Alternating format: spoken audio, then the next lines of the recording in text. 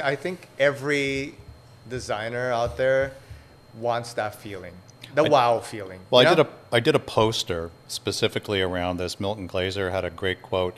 There's three responses to a piece of, of design: yes, no, and wow. Wow is the one to aim for. It's it's not possible all the time, but I mean, if you're in control of your own business and you're doing your own work, yeah,